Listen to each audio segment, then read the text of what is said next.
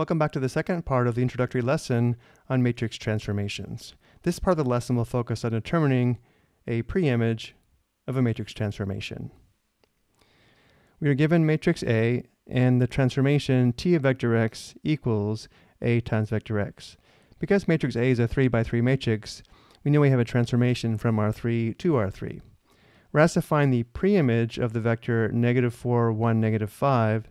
This means you want to find the input vector x in R3 given that the output or image t of vector x equals negative 4, 1, negative 5. So for the transformation, we know matrix A times the unknown vector x, which is in R3, and therefore it has three components, x1, x2, x3, must equal the output, or the image, which is the vector negative 4, 1, negative 5. Let's go ahead and solve this using an augmented matrix, where the first row was 1, negative 2, 0, negative 4. The second row was 1, 1, 2, 1. And the third row was 1, negative 3, negative 1, negative 5. The next step is to write the augmented matrix in reduced row echelon form, which I've already done to save time. Row 1 is 1, 0, 0, 2. Row 2 is 0, 1, 0, 3. And row 3 is 0, 0, 1, negative 2. So the first row indicates that x sub 1 is equal to 2. The second row indicates that x sub 2 is equal to 3. The third row indicates that x sub 3 is equal to negative 2, which means vector x equals the vector 2, 3, negative 2.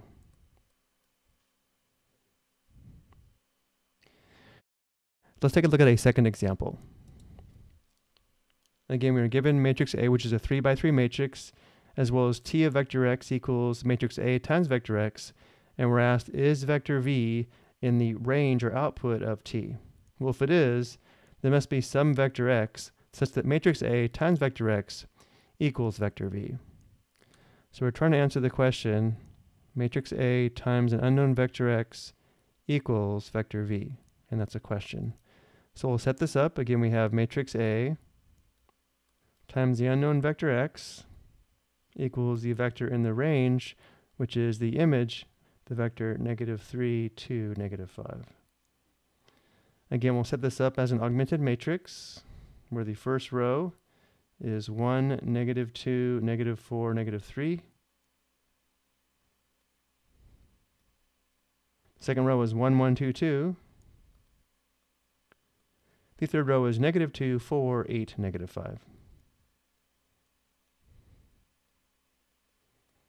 Next, we write the augmented matrix in reduced row echelon form, which again I've already done to save time. Row 1 is 1, 0, 0, 0. Row 2 is 0, 1, 2, 0. Third row is 0, 0, 0, 1. Let's go ahead and label the first three columns, x sub 1 through x sub 3. Notice we have a problem in row 3 Row 3 indicates that 0 equals 1, which of course is never true. We have a contradiction, which means there's no solution to the system or no solution to the vector equation, which indicates vector v is not in the range of t.